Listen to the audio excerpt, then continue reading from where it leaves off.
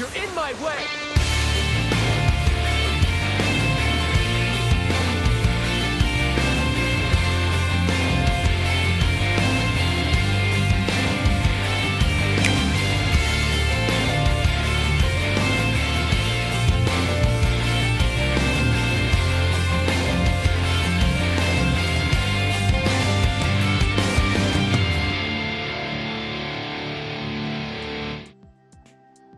My lovely child of the internet. It is I, Multi126789, and welcome to Oro Cruise, uh, Mario Maker World.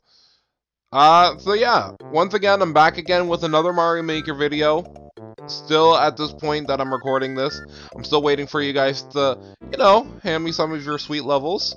Uh, if not, then I'm still just gonna keep doing this for a little while, because, again, I'm trying to get back into Mario Maker, because I do think the game's really fun. I just haven't played it in a while, because, I won't lie, I've, other than playing Rune Factory, I was playing Animal Crossing, and other than that, I was playing Persona 5 Royal, and then by the end of this month, I won't have too much time to play uh, Mario Maker again because Xenoblade will come out. And also, I guess something that I should talk about in this video. Also, this is just a standard one level 1 1 level, other than the fire, of course. But uh, uh, game got announced. Uh, what was it? Was it yesterday? Today is the 16th, by the way, for reference for when I say yesterday. So yesterday was the 16th of May of 2020. Uh, coronavirus is starting to... Uh, or COVID-19 is starting to die down a smidge. A smidge. We're getting to the point where, again, summer is now looking like it's starting to be a possibility for people to be able to go out and do stuff again and be normal. Only slightly, though, where I live. Though, you know, it's still something that you gotta be a little bit careful of because, you know, keeping yourself safe and not spreading germs is very important. But any case, I digress, because yesterday, on the 15th of May of 2020, uh, Paper Mario The Origami King got a, trailer that was dropped by Nintendo, and oh my goodness, isn't that going to be fun? Also, I probably will cut a lot round a lot in this part of the video because I die in the stage a lot because, okay. So, can we talk about game design philosophy, okay? Okay. so, as a player, or as somebody who plays games and also knows what is good and what's fun and enjoyable and what's a little bit intoxicating and rude, uh, putting enemies in a tight corridor where you don't have the most amount of control of your character is quite rude and aggravating. Huh. Very ag agitating indeed. Aggravating, agitating, all the words that mean I'm gonna get mad because I'm like, oh, it's not my fault. It's just that they built the level in a way so it's not very fun for a human to com complete. But anyways, that being said, I, I probably sped up if I did. If not, I didn't, but, you know, that being said, uh, Paper Mario The Origami King got released, and we saw a gameplay trailer of that, and we saw all kinds of cool things that they're going to do with the game. I'm personally excited. I am definitely excited for that game, because, to be honest, uh, that game looks really good, conceptually. Conceptually, I find it very enjoyable to look at and to think about playing. Because, again, I miss the Color Splash train. Not because I didn't want to play it, really. Because I played Sticker Star and it's like, whatever. Is whatever. I speedrun it on my own time to see how fast I can beat the game. And I was like, well, 10 hours. 10 hours! And uh, that was probably not me even playing at peak performance, because I still fought certain enemies even though I probably shouldn't have. And I tried to skip as many story beats and remember all the paths ways you need to take as possible. And it took me 10 hours to beat Sticker Star when I fully engaged myself in playing. Uh, but I miss Color Splash, but I heard a lot of good things about it and how, you know, even though they had a bunch of toads, okay, listen, if you got so many different types of beings in the Mario universe, I honestly don't understand why you don't use them. you don't even have to create too many new things. It's just that if you have pre-existing enemies and things that are in the canon, just use them again. Just make them usable. Like, you have Waluigi, you got Wario, you got... Well, lesser to extent Donkey Kong and Diddy Kong because they're kind of getting separated from the Mario canon for some reason. Uh, but you know, you got some other villains from the Mario series that we don't see a lot. It's like, you can bring them back. I don't think most people will be angry. If anything, they'll be welcoming them back with open arms. Huh. But that being said, uh, I'm definitely excited to see what they're going to do with this one because they're actually putting an emphasis on, hey, we got new and exciting characters for you. New and exciting. So, that can't be understated at all. that and also I think the gameplay will be fine overall. Like, again, it's it's not the system that everybody likes conceptually or everybody is very fond of because nostalgia, whatever. Because me, I don't even think Sticker Star's system was bad. It was just that it didn't make sense because you don't get... There's no real reason to actually do it other than to feel the satisfaction of using your stickers. Even though in the game you can just collect a whole bunch and never use them and only save them for bosses and you'll be fine. Because like I said, that 10 hour playthrough that I did in a, in a, like an entire day, where I just sat and played the game to see how fast I could play it through was ended up being 10 hours. And I was like, wow, this game was fun, but also I really hate how you can go for it in like, you know, less time than, uh... Less time than any other RPG that I've played of the same variety of game. I digress again, though. I digress. All I'm saying is that I'm I'm I'm cautiously optimistic about this game, and I'm not gonna let anybody who has nostalgia glasses or just doesn't want or just is gonna complete keep complaining and whining about the fact that we don't have the other version of Paper Mario to get in my uh, get in my zone of what I want for this, because again we had regular Paper Mario for the 64, then we had Thousand Year Door, then we had Super Paper Mario. Those are the three that I played that I was like, man, these were all high quality. Yeah, I will say that Paper Mario Sticker Star kind of took a lot of the charm and mystique out of the game. Uh, only because, uh, you know, I'm not actually sure. It's just like, you took a lot of the characters and charm out of it and just said, hey, this is a, some wacky story with a Mario that's made out of paper. Whoa, wouldn't that be funny? which I think rubbed a lot of people the wrong way. And I mean, I can I can concede with that because as much as I would like to say that I uh,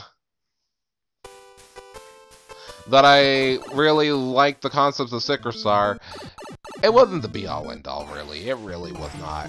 I mean, do I think do I think that they've now found a better way to formulate a story into characters and make personalities out of these characters instead of being one-note characters that all look the same, all talk the same, all act the same? Oh yeah, that's why I'm excited for the game, more more or less, because they're actually gonna experiment and be like, let's see if this actually works. Let's see if we can give the people what they want, which is a unique story unique characters and settings that we haven't seen before, different way of ex experience the same sort of concept for the game without it being stale, and most importantly, are they going to enjoy it? The only thing that really worries me about the battle system, which all, which everybody will say because that it's the same problem that Sticker Star and I think Color Splash had for most people, is that again, there's no real incentive to battling. Again, like, that's the one thing I'm worried about, is that, oh, we have a battle system, but do you use it for only the bosses, or do you fight all the plebeian em enemies that aren't going to do that much? And it's like, mm, you know, it's not like I don't want to fight the enemies, but also, if I don't need to fight the enemies and waste resources, then why would I? Like, if... All I'm saying is that you don't have to have badge points, you don't have to have flower power, but make it so when you level up you gain something other than money and health. any anything that makes it interesting is fine by me. But just remember that you got to make it uh, the replay value in the what's it called? The vicious cycle of player player feedback needs to be good. Like we've learned, we have learned this with other games in both Mario series and not Mario series, where it's like Mario Odyssey. A lot of the draw in that is that, oh, there's so many moons and so many new things that you can find and discover, and the movement is always something that great to go back to when you want to go and play a game with very sharp movement and allows you to do cool and fun stuff and doesn't limit you. Uh, what's another game that I played recently that has a really cool... Well, Rune Factory 4, a special, obviously, but I guess none of you were really surprised by me saying that. But, like, the feedback loop of, hey, beating up enemies, farming, getting a lot of money so you can reduce, keep redoing it to the point where now you're have infinite amount of money. You're the strongest you've in the land. You can take down anybody, and it doesn't matter. And the same with Animal Crossing. Even though there still are a few things that they can improve on, don't get me wrong. Uh, I've been playing for, I think, almost almost three weeks now. Uh, but I already completed now uh, on the day that I'm recording this. It's the let's see. Okay, it's the 16th of May uh, on 2020, just for reference. Probably won't be uploaded the same day, that's for sure. But just just in reference, uh, yeah, Animal Crossing has a really addictive feedback loop, but again, it's one of the things where it's like, yeah, it has problems, but the whole thing about playing the game that makes it really addictive is the fact that, yo, hey, hey guys, listen, lad, listen, okay? We're gonna treat you. We're gonna treat you right when you play play our game. We're gonna make you feel like you're progressing at a good pace. That there's always something to come back and do. And even when you think you're done with the game, you're not done with the game. Like that's all we want from the next Paper Mario 2.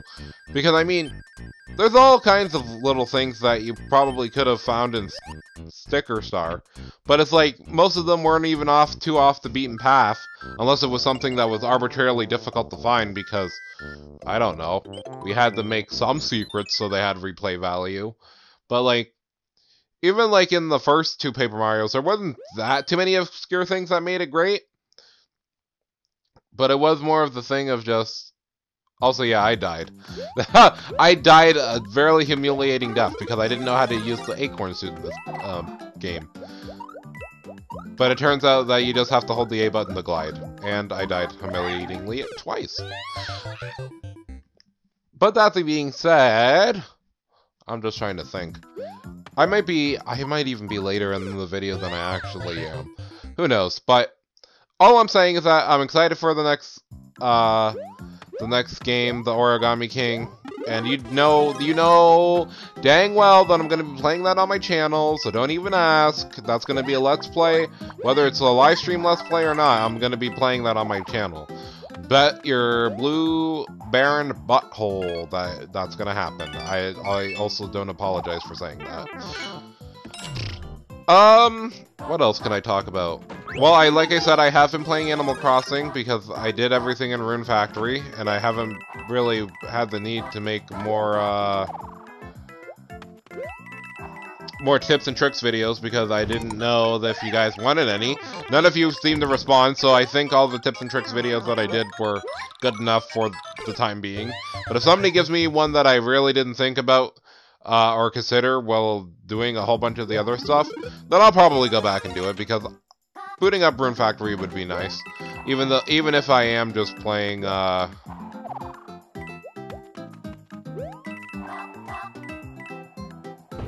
Oh yeah, I get soft lock. That's cool. Um, even if I am, uh... What's the word I'm looking for? Uh even if I am playing Animal Crossing, because a lot of the stuff with Animal Crossing for me is like, I play it like twice a day. Once early in the morning, because I usually work and wake up early in the morning. And then another time near the end of the day, during the evening, just so I can catch and do some of the evening stuff you can't do in the morning. But, like, even still, I'm enjoying the game. It's just that it's hard to make content on a game that you're like, oh yeah, I already technically completed everything that you need to do up until this point. Because I got the K.K. Slider stuff within like less than a month of playing the game. And I'm like, oh, cool. And now I got terraforming already, and I've been trying to make plans on how I'm going to do that. But before any of that, I still want to make some different uh, variety of flowers, pay off my huge loan for my house, and just make sure generally that I don't have to worry about anything when I play any other time other than, hey, I want to help out some of my friends grab stuff or get new things because I have this the capability to do so more or less than me actually having to worry about anything. So, yeah.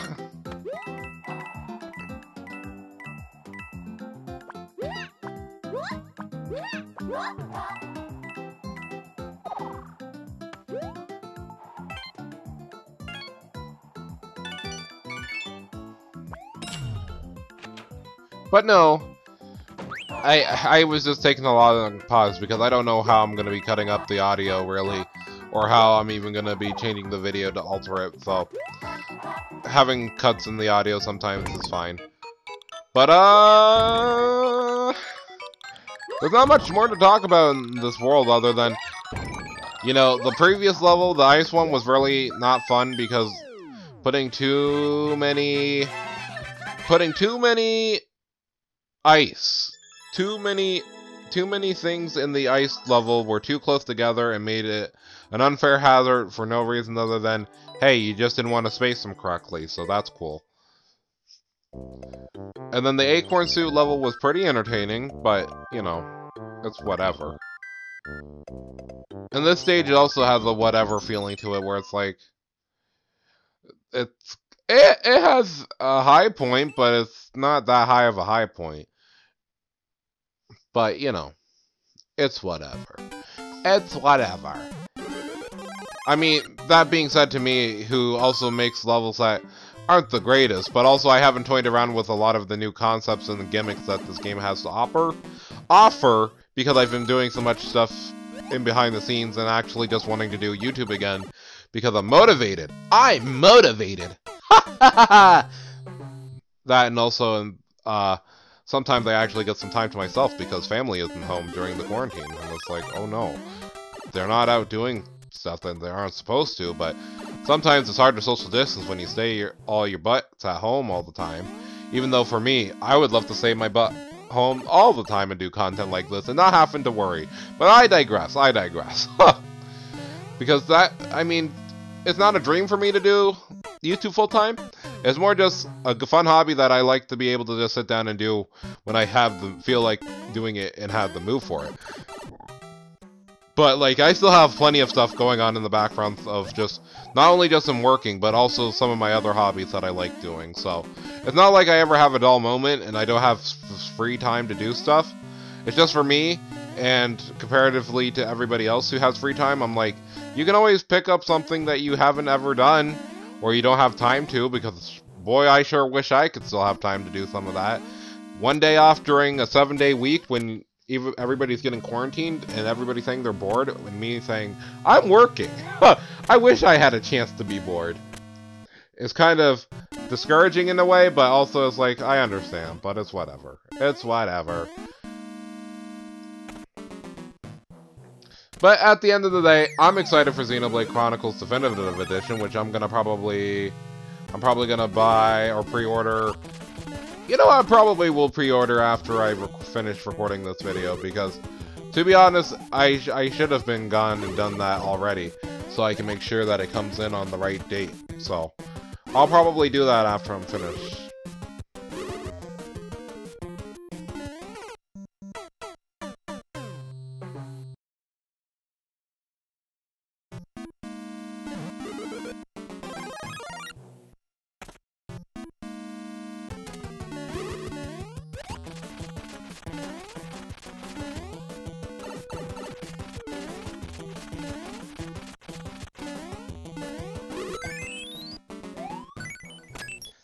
And all the rambling aside, we did it. We finally finished, uh, I forget the world's name.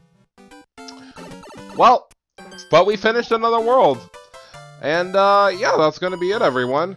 Uh, once again, want to leave your levels or any of your worlds down in the comments below? I'll definitely decide tr or try to make a full-fledged video just for you on the channel. So yeah, with that being said, I have been Multi-Man or Multi-126789, and I'll catch you lovely chows next time. So ciao ciao until then.